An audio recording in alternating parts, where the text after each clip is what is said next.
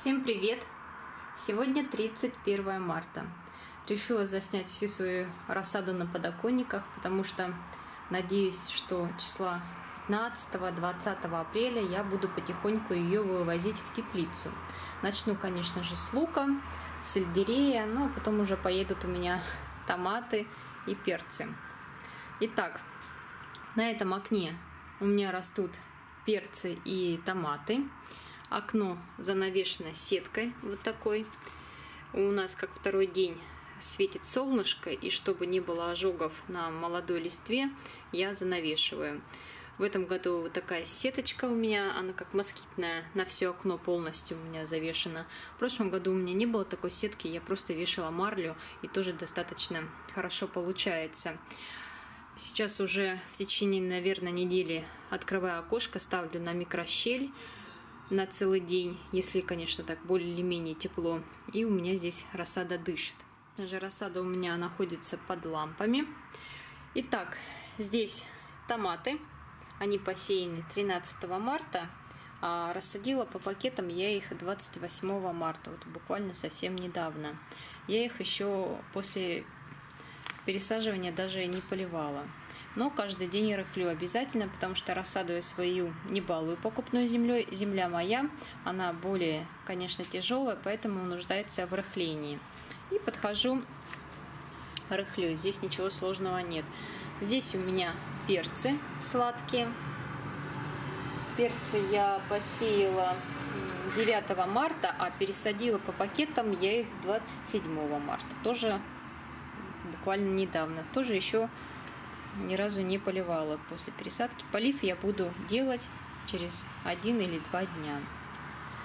Здесь у меня тоже перцы. Вот. Это перцы у меня арамира. Вот такие они уже большие. Это еще побольше. Вот. Здесь у меня томаты. А, посеяла я их 11 марта, а пересадила по пакетам 25 марта. Томаты у меня все высокорослые, предназначенные для теплицы. И я еще посеяла несколько штук, штуки, наверное, 3 или 4. Это низкорослых, супер раннеспелые. Это я буду подсаживать их в ноги в теплицу к высокорослым томатам для раннего урожая. Вот так они все выглядят. Тоже обязательно рыхлю. Так, чем поливаю? Значит, гумат калия я делаю раствор, поливаю после пересадки. Это буду вот поливать эти маленькие все растения. Уже вот такие растения я подкармливаю. Вот данные томаты я подкормила один раз раствором биогумуса. Это концентрат. Вот. Такие пока небольшие растения поливаю непосредственно сюда. А уже такие растения, как вот рамира, крупные, я поливаю в поддон. Но так как перцев крупных у меня мало, я их выставляю в плошки, ставлю в ванну и поливаю прямо в ванной. По голове поливаю и в саму плошку. В общем, делаю такие банные дни раз в неделю. Крупные растения поливаю два раза в неделю. Такие вот, как томаты мелкие. Вот такие я поливаю один раз в неделю. Но очень хорошо. Батареи давно отключены в квартире, но влажности растениям не хватает, поэтому из распылителя я каждый вечер в будни орошаю растения водой, в которой разбавляю небольшое количество хлореллы. На выходных, конечно, э, получается чаще, и два, и три раза. Я посмотрела записи прошлого года, и рассаду томатов я уже высадила в теплицу 31 апреля. Но в прошлом году я и сеяла их раньше, все-таки рассада была по прошлому году э, чуть приросшие. В этом году я посеяла чуть позже, но высадить хочу в этих же числах. Ей в пакетах еще расти месяц. Конечно, по мере роста я буду подсыпать землю. И надеюсь, что вот в этом году у меня будут растения такие, какие нужно. Потому что все-таки вырастить хорошую рассаду, это значит получить хороший урожай качественный. Персы по прошлому году высаживала вот, э, я сейчас не вспомню, но в первых числах мая.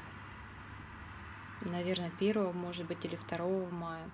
Тоже. И месяц еще расти в пакетах, поэтому вырастут так, как мне нужно. Следующий подоконник. Растение находится под лампой. Растут высокорослые томаты. По рассадным пакетам я их рассаживала 25 марта. И пару кустов это раннеспелых, низкорослых. Затем в цветных стаканчиках у меня здесь лаванда. Это я буду отдавать ее. Ну, такая классическая. Вот так она уже выглядит. Куститься начала. Все хорошо. Это моя петунья. Я в этом году очень довольна, что я посеяла небольшое количество. Вспоминая прошлый год, просто голова болела, куда ее вообще рассаживать. Я ей дарила и отдавала, и все равно ее у меня было много. А в этом году вот сколько нужно, столько и сейчас есть. Уже несколько штук я тоже подарила, а вот это все количество оставила себе. Очень довольна. Хорошая петунька, она кустовая. Вот это сорт пурпурная превосходная. Ни одну петунью еще не прищипала. Вот так она кустиком, таким аккуратненьким, растет. Замечательная. Это сорт Прага на Д. Это фиолетовая. Вот такие у нее листики вытянутые, продолговатые. Дальше у меня еще есть сатин. Такой маленький аккуратный кустик. Это розовая. И очень, конечно, плоховато взошла белая петунья крайкови завой. Всего лишь три штуки у меня. Достаточно. Даже не переживаю. Сеяла я ее 24 февраля. Здесь же у меня сидит псевдолаванда. Вот такая английская лаванда. Сеяла вообще-то я. А выросло вот такое растение. Вот. Сейчас покажу. Ну, уже я показывала, но вот Выжило одно, взошло 4 штуки и выжило одно растение. Вот. Но тоже вот по-прежнему оно капризное. То лист бледнеет, то еще что-то не, то подсыхает. В общем, уже замучилась. Вот из четырех осталось одно, и все. Пропадет не жалко, честное слово. Уже устала за ней ухаживать. Она столько времени отнимает. И Здесь же у меня еще посеяна лаванда. Сейчас покажу. Вот такая. Голубой простор. Взяла из-за цвета цветков. Очень красивые голубые цветы. Вот так она выглядит. Конечно, уже всходит похуже, потому что я ее ставлю в самые отдаленные места. В общем, то света и не хватает. Ну, землю подсыпала, чтобы не вытягивалась. Так же, как все культуры, увлажняю листву. Вот у меня такой распылитель. Вот. Подкормила, конечно, уже два раза вот таким удобрением. Это фертика, кристаллон цветочный. Это водорастворимое. Просто посмотрела, что здесь э, комплексное удобрение. Все. Купила еще вот такое здравень. Вот. И вот такой аква акварин для цветения уже. Этот я применяю такие удобрения только для цветов. Вот. Так, это уже другой подоконник, тоже лаванда. Это на отдачу. Здесь у меня растет земляника крупноплодная. Вот так она выглядит. Вот такие сорта села. Клубника супергигант. Заря земляника. Это безусая. И искушение гибрид. Это ремонтантная. Вот такой куст у меня один всего лишь вырос. Супергигант. Такой приличный кустик. Тоже каждый вечер э, орошаю листву водой, в которой разбавляю э, хлореллы, чуть добавляю. Это искушение. Вот такая. Потому что зелень нарастает, влаги не хватает, приходится увлажнять. Это заря. У зари кустик более аккуратный. Ну, так. Это вот самый маленький. Он пошел в рост хорошо, поэтому я не стала его удалять. Это уже лаванда моя, но для себя выращиваю. Три кустика у меня. А цветочки здесь будут лавандово-голубые, тоже очень красивое растение. Так, села я ее 2.02. Вот такой кустик уже приличный. Сейчас пакетик покажу. Вот такая One Seed Strain. Видите, какая она красивая. Очень понравилась. И вот еще два кустика. Это лаванда еще. Это остатки томатов. Не нужны, но жалко выбросить. Так, здесь у меня остатки, э, когда рассаживала вот эти томаты, это остатки. Оставила по одному сорту на всякий случай, если будут выпады. Вот растут замечательно. Здесь не удержалась, посеяла лук потому что я в тепличку свою, в которой находится в открытом грунте под стеклом, я посеяла лук на репку. Но не знаю, семена от Элком семена, схожесть у глоба здесь у меня, я сейчас покажу, одно семя всего лишь взошло, поэтому все-таки я не рискнула и посеяла еще лук. Я его уже числа 10 может быть, вывезу э, в теплицу. Посеяла лук, сейчас покажу какой. Нет, пакетика нет. В общем, называется он фермер. Смотрите, какая всхожесть. Очень хорошо всходит. Посеяла я его, сейчас я вам скажу. Нет, не А, вот он, пакетик. Вот такой лучок. Фермер. Я его уже сеяла. Хорошая головка. Она до 300 грамм. Отличная для хранения. Посеяла, значит, я его 20 7 э, марта. То есть 25 я его замочила, а 27 посеяла в землю. И вот такие уже всходы замечательные. Очень хорошо взошел. Идеально просто. Это здесь у меня лук Exhibition. Вот, сеяла 21.02. Вот так он у меня уже взошел. Ну, здесь я немного сеяла. Два раза уже подстригала. На окне стоит у меня еще одна плошка с эксибишеном. Тоже 21 его сеяла. И так вот он хорошо взошел у меня. Тоже всхожесть прелестная. Значит, сейчас покажу. Это голландская линия вот такая. Exhibition. А вот здесь, где вообще проплешина большая, вот как раз я сеяла глоба от Элком семена. И вот взошло одно семя. Я здесь уже, видите, петельки стали появляться. Это я уже досеяла фермер сюда, чтобы место не пустовало. Вот, фермера я как раз написала.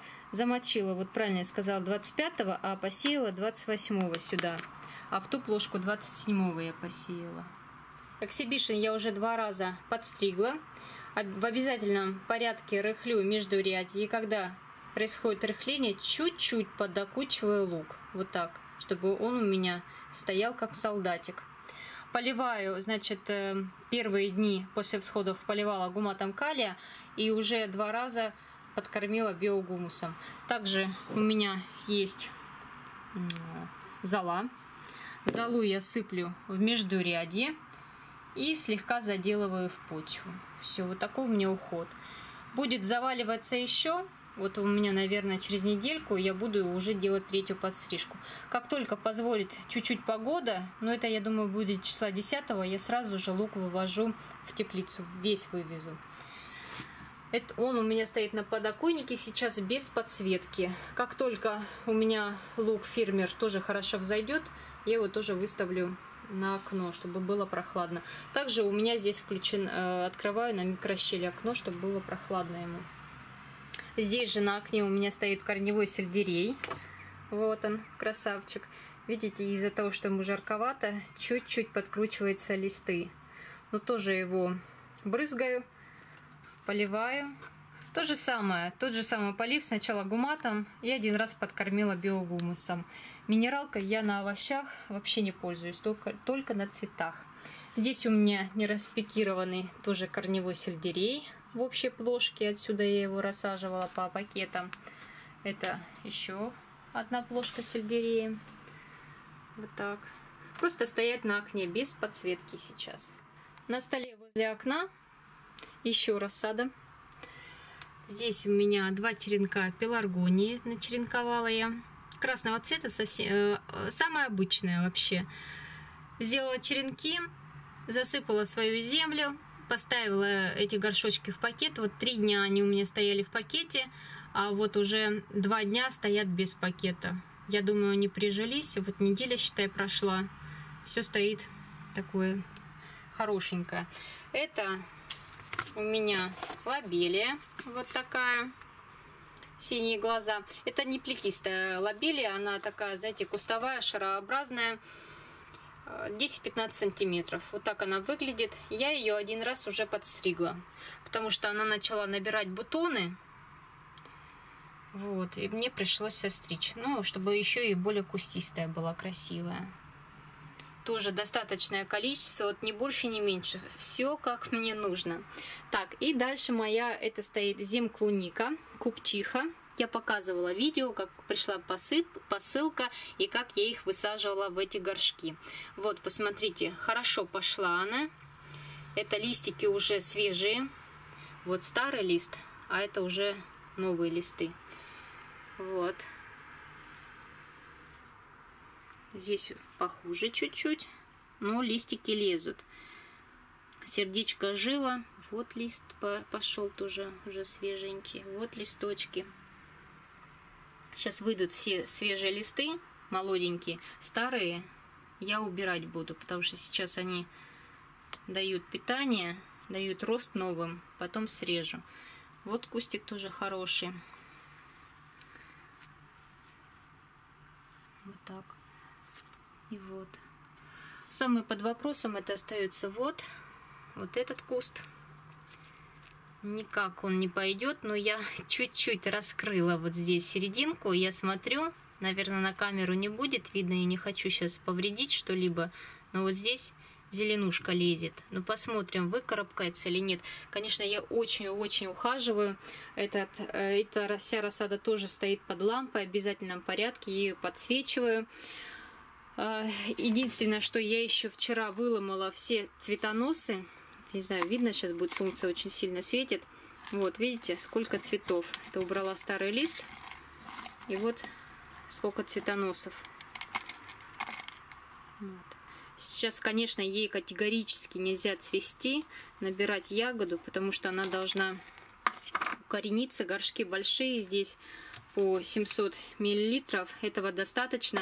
В мае хочу уже высадить полноценное, хорошее растение. И уже тогда можно говорить о какой-то ягоде или о размножении ее. Так как выхаживаю, разбавляю Байкал, М проливала.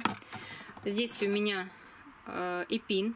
Первые дни я работала по листу эпином, чтобы снять и стресс. Вот, и гуматом калия я проливала. Это уже под корень лила. И через недельку я подкормлю ее биогумусом. Я думаю, мне удастся ее поднять и высадить уже хорошую рассаду в открытый грунт. Оставила, видите, я комнатных цветов совсем чуть-чуть. Вот такие оставила вот этот горшочек, кактусы. Все остальные цветы вывезла, потому что рассаду ставить некуда, и получается, что ущемляются и домашние растения, и рассада, поэтому все домашние вывезла. Остался еще фикус у меня здесь вот такой громедный. И немножко вот этой плетистости оставила. Итак, хочу вам еще, вот пока не забыла, показать баночку закрутки сейчас. Вот об этой закрутке я говорила. Хочу показать сегодня, потому что она осталась последняя баночка. Великолепный рецепт. Я его придумала сама. В плане не рецепта придумала, это рецепт моей мамы, а составляющие. Смотрите, хочу, о чем я хочу сказать. Здесь перец сорт Рамира. А томат томатный сок. Это сорт «Загадка природы». Вот, тоже последняя бутылка осталась. Смотрите, он такого оранжево-желтого цвета, красивый густой сок. Это перец в сладкой подливе. Вы не представляете, как это вкусно. Вот этот перец рамира в этой заливке томатной от загадки природы. Великолепный вкус. Я не люблю, когда перец, знаете, прям от мяса-мяса, когда он очень толстостенный, в влечен не люблю. А вот перец рамира, он же такой, знаете, можно сказать, он ближе, наверное, к тонкостенному. Там до 5 миллиметров стеночка у него. Но по вкусу он совершенно отличается от обычного перца. То есть перец, он имеет такой, знаете, вкус и запах перечный. ну, я надеюсь, вы понимаете, о чем я хочу сказать. А вот Рамира, у него совершенно такой другой вкус, у него нет этого явного запаха, он такой сладковатый. И вот именно в лечо перец Рамира и томатный сок «Загадка природы» просто великолепно. Это я в прошлом году так сделала эксперимент попробовать. Я закрывала 10 баночек, ни одной баночки больше не осталось. Вот эту баночку держу, чтобы снять, вам показать. И вот сегодня мы ее будем открывать. Очень красиво получается, очень вкусно. Ест даже ребенок. Вот, так что у кого есть такая возможность, попробуйте закрыть вот именно вот таким составом. А я в этом в прошлом году я не снимала этот рецепт, а в этом году сниму именно вот так выглядит моя рассада на 31 марта. Я в этом году не распылялась на рассаду, посадила все то, и в том количестве, сколько мне нужно, потому что у меня в этом году есть одна идея, которую мне нужно осуществить, а на это нужно очень много времени. Поэтому посадила все, можно так сказать, необходимое. Сейчас еще хочу снять видео, что я буду сеять в апреле месяце, потому что очень много задают вопросов по лагинарии, по прививке, по огурцам, по арбузам. Поэтому сниму видео, что буду сеять и когда буду при, э, делать прививки в апреле месяце. Все. А у меня на сегодня все. Я желаю вам всего самого хорошего. Всем пока.